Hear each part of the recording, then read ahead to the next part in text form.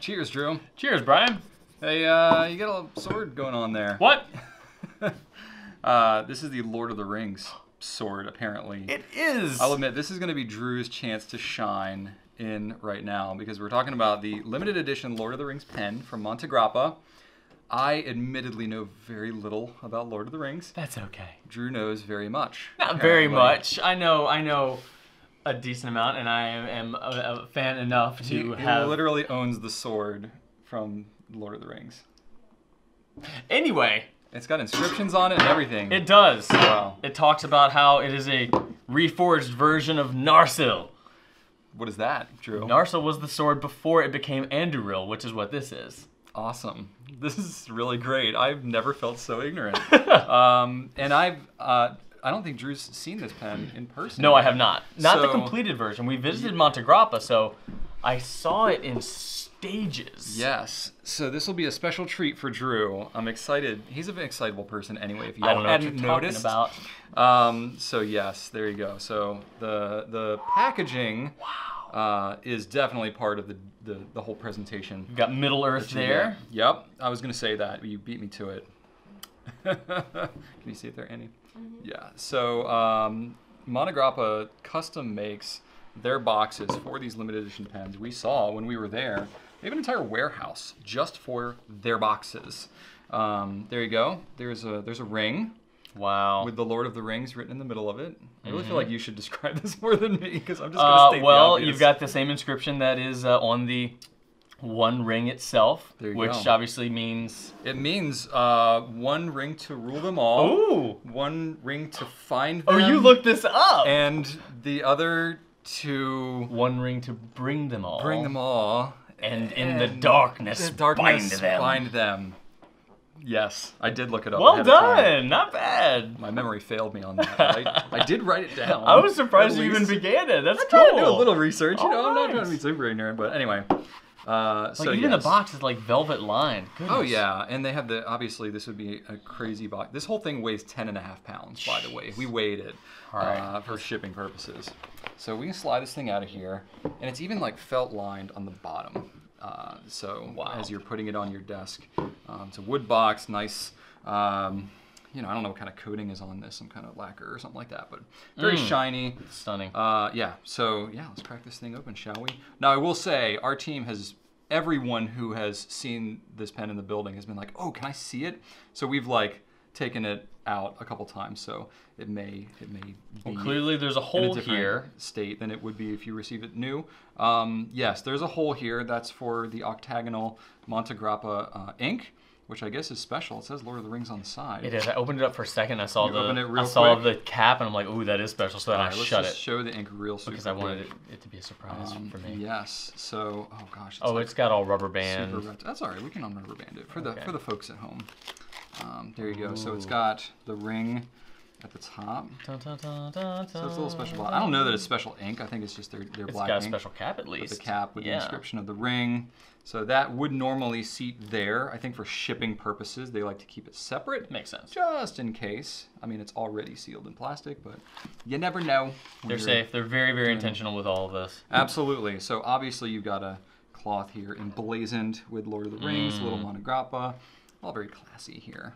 Um, it's got the pen. Uh, we're gonna get to that in just a second. More Lord of the Rings stuff. We'll coordinate. Here you go, pulling this out, Drew. Teamwork. Oh! What a Here we fellowship we have. That's so good. Okay. Um, now Oh. debated. So, do you want to do you want to carefully open this? Do you know what Drew? this is, Brian? I, I want you to explain it uh, This to the folks is at home. this. I did not know this. This was a thing. This Yeah. they're, they're clearly going for a lembas bread sort of packaging. Great. The elves, when they visited, uh, you know, they, they were given the hobbits were given this bread that Mm. one bite would be enough to sustain them for you know a whole day or more than that, and it was wrapped in a little leaf package, and this is so adorable. Oh my gosh. The, the, thought- Um, the thoughtfulness and the yeah. intentionality around this is That is really cool. on point. I won't. Do we? We don't. Do we want to open this up or? I would say open it up. All right, well, let's take- let's take- like. let's Why take a look here. This is why we're doing the Oh. video. It's not a Let's it's see. not a bow. It's no, just it's a just a knot. But uh, I don't. it's I a- do not want to mess it up. Ha! All right. So the Elvis, the Elvis leaflet. That's pretty cool. Look at this. It looks like there's some Oh, kind wow. of. Is there like maps in there? Like what is? Okay. It's a whole Middle Earth. It's a Middle Earth map. Map. wow. What? That's pretty rad. Oh my gosh. I thought this would be Look fun. at that. wow. That's pretty rad. What would you do with that, Drew? Would you like frame it or something? I Uh, don't know. no, I would I would keep. I'm a, Keep I'm a, with the- I'm a with the pen? purist, yeah. And Okay. then it's got a lot of instructional Oh wow, yeah, they didn't just the put a map. They put all kinds of information on there. There's a whole use and maintenance description here, and then uh, but uh, we will show you how to use it here in a moment. Yes, indeed. I will refold this better. There you go. And then there's a booklet of some kind. If you want Yes, let's peruse this. That's a nice booklet. It That's is like a very nice booklet. a, a That is nice- not Middle Earth. That is. Bassano del Grappa. It is. That is the one ring at the bottom of the uh, river where Smeagol found it. Um, and the Fellowship, obviously just some movie references. It looks like uh, they're talking about the jeweler aspect of the creation of the pen. Ooh, this is the pen. Sneak peek. Ah, the finger of Sauron. And then, oh, there's the pen. Spoiler alert, that's what it looks like. So, movie references, a little, and some uh, language about how the pen was made, which uh, is considerable, to say the least. Yes, yes. We're gonna move I that believe they box out of used um, lost wax in order to do this. They, This was a lost wax sterling silver casting. so there's a lot to talk about as far as how the pen was made. is. And before we get into this, I think it's safe to say that this pen is not going to be in most people's price range. This is absolutely Yeah. a way over the top luxury item. It is, and in fact, we're not like stocking tons of these or anything like that. So if you are going to order one from us, it's kind of like a special order type situation, which is not uncommon with pens in this price range. They just don't make that many of them. So if you want to get special nib sizes and stuff, um, And there it is, the Eye on poking through. yes, indeed. So this is uh, a nice daily carry pen here. Oh my that I God. think Yeah, just throw it in your pocket Uh, and- you can resituate the eye. It can just kind of like be looking So at it you. can always as be writing. looking at you, especially if you That's put right. that ring on. Yeah, that's right. Um, so lost wax cast sterling silver. Um, you know that process. It's it's used a lot in, in jewelry. They use this on several other pens Mm-hmm. um, that they've done in the past, like their Chaos pen. They've done it in a number of different ones. Um, it's all sterling silver trim as well. Uh, piston filling pen. The resin part is is a celluloid resin, like the cellulose nitrate, the, the legit stuff. Um, 18 karat gold nib. They're going to do 379 of these pens worldwide. Uh, and 379 apparently is for 3, 7, and 9 rings forged for elves, dwarves, and men. That's right. So that even the number Interesting. I did not know that. the theming. And apparently there are 20 different motifs I wouldn't be surprised. the series Yeah. incorporated into this pen. So I was going to see, Drew, how many you could uh, Okay. maybe identify at All a glance. Well, very quickly, you've got uh, Mount Doom and the Eye of uh, Sauron here up at the top. You've got Okay. Isengard here on the left and the right. You've Mm-hmm. got Sting, Frodo's sword. Behind that, you have the Elven brooch that the Fellowship was given when they uh, visited Galadriel. Underneath, you have Arwen's Evenstar, the front door of Frodo or Bilbo, not really sure. The One Ring, obviously. Aragorn's ring is uh, right above his sword, which is Narsil, not Anduril, because this is. Um, no, sorry, this is Anduril. Well, it was no, no. This is Anduril. You can actually see the uh, inscription there. yeah. How about that? That's Anduril. Uh, behind that, you have the uh, some Mithril. Uh, below that, here at the bottom, circling the entire bottom of the pen, is a, uh, Aragorn's crown, which he gets in Return of the King. Nice. And then around the main barrel, you have all the weapons of the Fellowship members. You've got Legolas's bow here, Gandalf's staff, uh, three swords to uh, represent Merry, Pippin, and Sam. You have Boromir's sword, Gimli's axe, and then now we've made a, a whole row with a little bit of a Tree of Gondor reference here behind Aragorn's sword. And then here is where I get a little mixed up. Obviously, you've got Gollum here, some leafiness here, and I don't know if this is just a general uh, theme.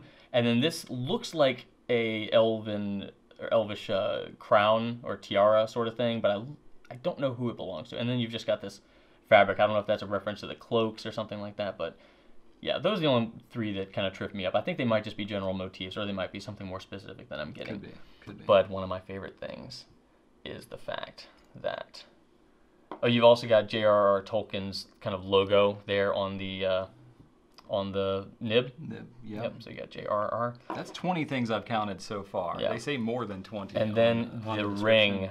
The ring is actually actually removable. comes off, and there we go. That's pretty cool. Be careful with that ring, Drew. Da, da, da, da, da, Does it actually fit you?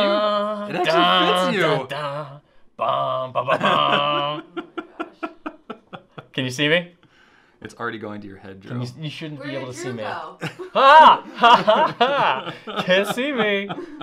Uh, oh my god. I do have big knuckles though, so getting rings off is kind of hard. I'll probably just have to keep it What on. size? Uh, well, you can do that for a price, Drew.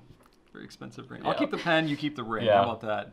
No, this isn't, this isn't coming off. We're good here. I'm amazed it actually fits. It's kind of a small yeah. ring. It's kind I, of a small ring. I have a small hand.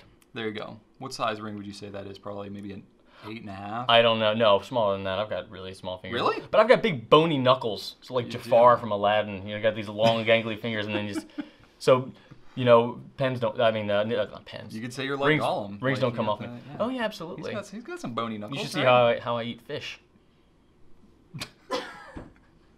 I don't get that reference. It's I'm nasty. assuming it's a, he okay. eats it. There's a really nasty. Fair thing. It's enough. Fair teeth enough. and fish. Wow.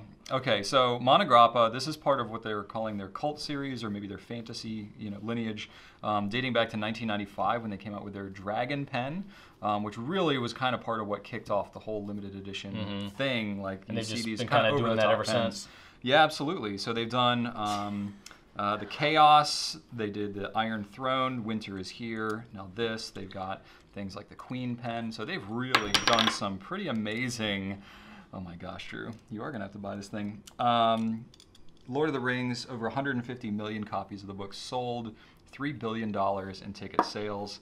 Um, and the thing that we can say after having met Giuseppe, seeing this pen in production, the amount of like immersion that they go into in Montegrappa, especially Giuseppe, uh, when developing these pens is pretty intense. Yeah. Like clearly somebody with very legitimate like uh, I don't know, knowledge and, and interest in something like this, like this is a very legitimate, um, legitimately represented pen. They didn't just like write Lord of the Rings on it and call it a Lord of the Rings pen. Like they really incorporated some deep, deep cuts in here. They did. It's a lot of fun to look at. and uh, to Drew's credit, we re- he really didn't study this up ahead of time. He just spouted all that off the top of his head. So mad respect yeah, most you, of it's pretty obvious. And we saw the uh, the eye of Sauron being made too. They're all Yes. hand done. The um, in, inlays, the lacquering, the uh, uh, the enameling is all done individually by hand. the, the craftsmanship is just out of this world. So Mm-hmm. if you are a hardcore Lord of the Rings fan, you're a pen fan, it's going to be harder to find a better matchup than these. Um, so this is the sterling silver version, which has an MSRP of four thousand seven hundred and fifty dollars. We have it on our site for forty-two seventy-five. Um, but uh, they also are doing a solid gold version, which is like seventy grand or something like that. If you're Ask us if you're curious. I'm sure we can find one for you. they make those more on demand, um, and I think they're going to be making a like lower price one too. They tend to do that, That's like, like they in the did with $400 range? They Like did they that did with the Game of Thrones and yeah, and the yeah. moon landing Mhm. pen and stuff like that. So uh, I haven't seen that one yet, but that may be forthcoming um, soon. And uh, last thing, Drew, I was going to see. Can you pronounce the um, inscription that's on the ring? in We its, just like, did. native tongue. Oh God, no! Yeah. I've always said I've wanted to learn Elvish so I can speak it with a country accent. Oh. loudly. Wow. Because it's always whispered like, but I want to be like, hey, there, bar some, but they do, do." Well, I, I have it written down here, sort of phonetically. Ashnazg Thrakatuluk. You have to whisper it. A lot of air. Resume Ishi Krimpatul. Crimpatool. Crimpatool. All right, well, you get your Crimpatool right here. Enjoy. So you can check this out on our site. We have more pictures and stuff like that. Life goals here for Drew. Uh, be sure to like, comment, subscribe to us here. Thanks so much for watching, and right on.